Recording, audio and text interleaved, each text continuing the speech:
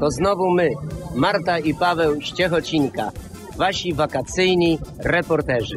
Dzisiaj pozdrawiamy Was z największego skrzyżowania w Ciechocinku, gdzie między innymi tutaj kręciliśmy teledysk do piosenki Kasa, Misiu, Kasa. Co prawda jechaliśmy niezłą bryką, a za nami taka prawdziwa bryczka z Ciechocinka, czyli dorożka.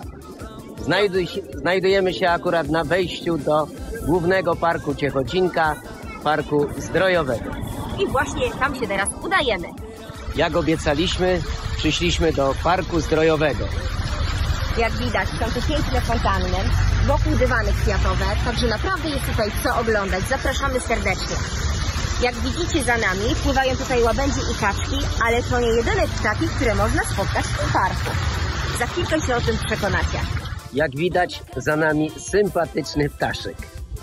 Paw biały. Tak jak mówiliśmy, nie tylko łabędzie i kaczki, ale również pawie, bażanty.